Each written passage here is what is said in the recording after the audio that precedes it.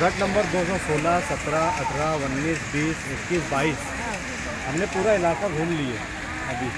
लेकिन मैडम जिस तरीके से मतलब कल की हंगामा आ रही थी उस तरीके की तकलीफ़ हमें मतलब नहीं लगता। पीछे। आप ये बताओ तकलीफ़ नहीं थी क्या यहाँ? सुनो ना पीछे की मतलब जो है। मेरा नाम शमीम है और हम लोग कल गए थे कारपोरेशन हमारे मसले मसाइल लेकर।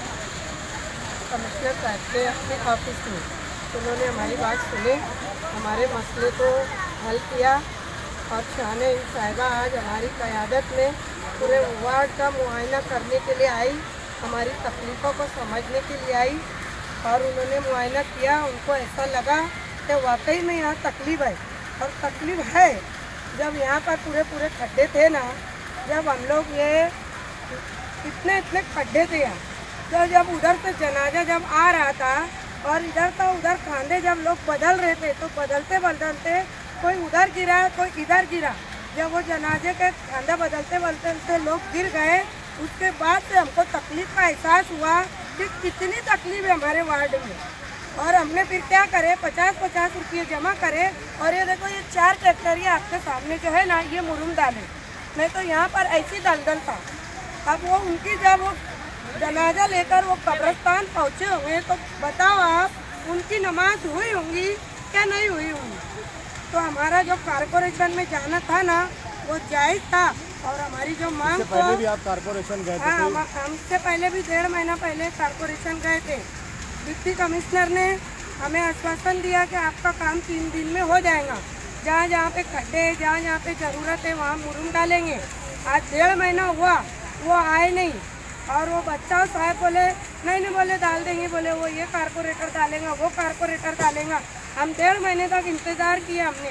वो लोग आए नहीं। उसके बाद में हम कारपोरेशन में लेडीज़ों का धरना लेकर गए और वहाँ पे हंगामा किया। तब जाके आज वो मुरुम गिरा।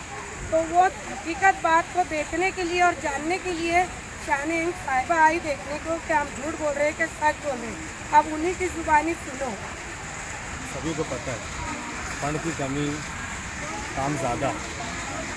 डेवलप किस तरीके से हो रहा है? आप क्या कहना चाहेंगे?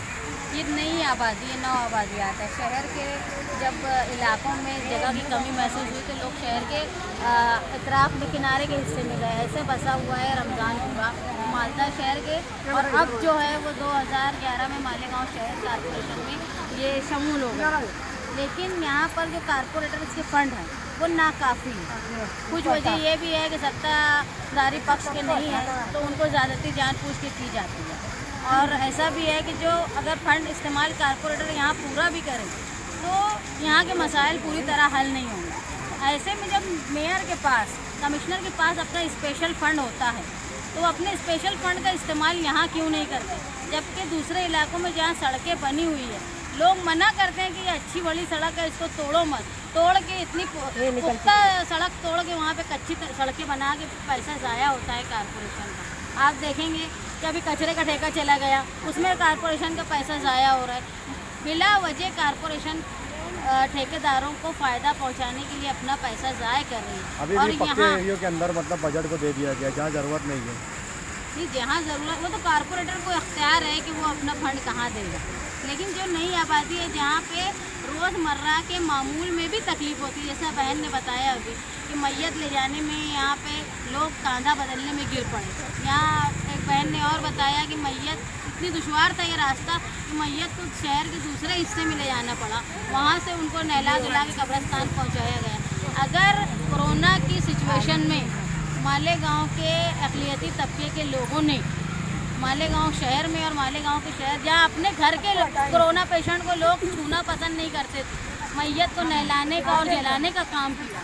अब ऐसे में अगर हमारे ही लोगों के साथ मैयत के साथ बेहरमती का काम होगा तो कोई बर्दाश्त नहीं करेंगे। आप कैसे देखती है? इसको मतलब ये इलाका चार कारपोरेटर से जुड़ा है लेकिन तरक्की विकास हो नहीं पा रहा ये लगता है कि कारपोरेटर्स की जो फंड है वो नाकाफ़ी है यहाँ। इसके लिए कमिश्नर को स्पेशली महा जो पॉलिटिशियन है मेयर साहबा उनको अपनी ख़ास तवज्जो यहाँ देनी पड़ेगी।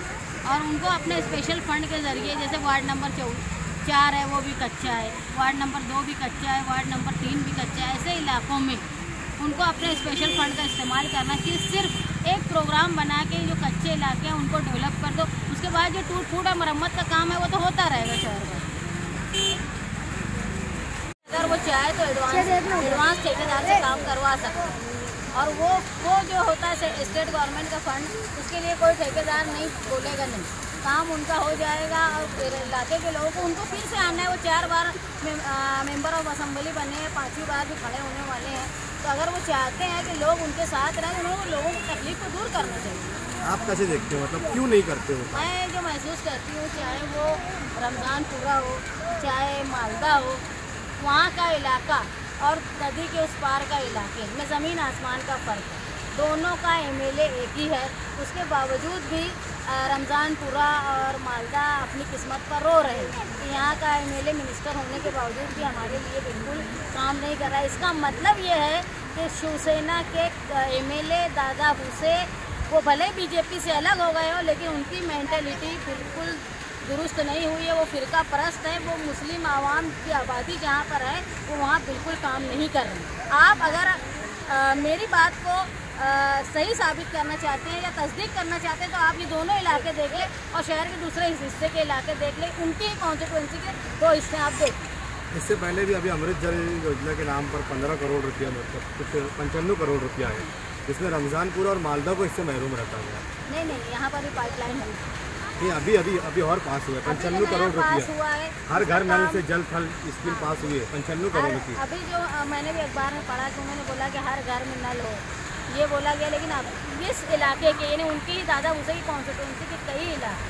अभी भी पानी से महरूम है। लेकिन वो जो है, अभी तक वो इस इलाकों को नहीं देखी। मैं आपको बोलना चाहती हूँ, उनकी मेंटेलिटी ही फिरका परस्त है। वो भले ही बीजेपी से दूर हो गए हो, वो कांग्रेस और राष्ट्रवादी के साथ सत्ता में हो, लेकिन उनकी जो मेंटेलिटी है, आज भी वैसी ही फिरका परस्ती वाली है, जो आप देखेंगे मुस्लिम आवाम जहाँ रहती है। हालाँकि, मेरी मालूम के मुताबिक हमेशा से उनको मुस्लिम लोग वोट देते आए।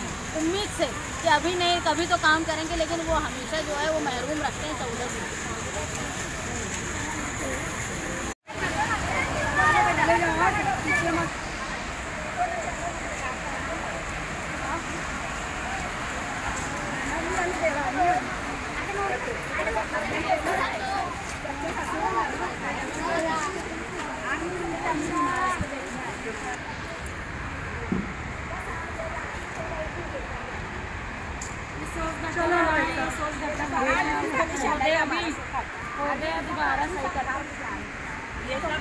का अड्डे बनेले होंगे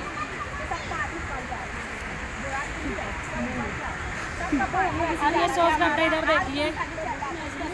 डाक दिए दोबारा उसको बनाए फिर गटर नहीं मिलेगा तो पाँच हज़ार का नुकसान रास्ते की वजह से।